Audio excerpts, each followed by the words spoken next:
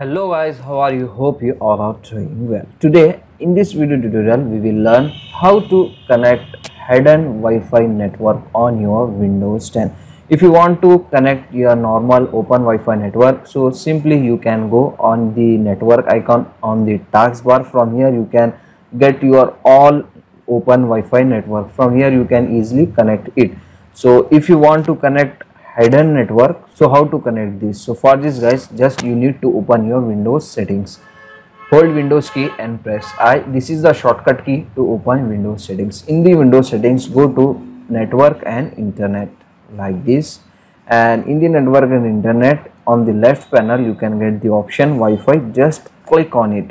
And here you can get the option manage known networks. Just click on it. From here you can get the option add a new network. Just click on it. From here you want to enter your Wi-Fi network name. After this guys in the security type you want to select.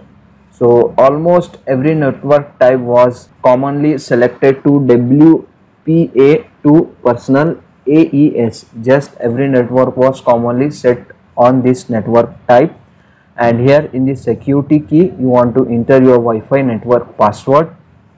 After this guys you want to connect this network automatically. Just you want to select connect automatically option. And after this guys just click on save. That's it.